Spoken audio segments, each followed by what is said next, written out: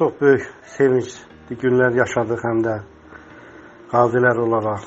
97-ci ilə qədər yaralanıb 50 dərəcə salmış Qarabağ əllərinə ölkə prezidenti Silahlı Qüvvələrimizin Ali Baş Komandanı cənab İlham Əliyevin humanist yanaşması nəticəsində bir dəfəlik ödəmələr başlanıldı verilməyə.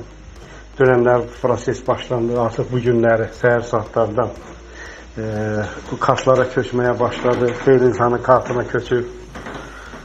Qarabağ Qazilər Birliyi olaraq biz cənab prezidentə minnətdarlığımızı bildiririk.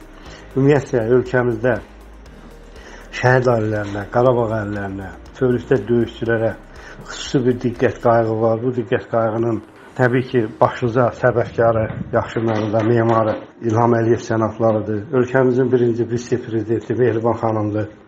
Hər ikisinə qazilərimiz adından təşəkkür edirik.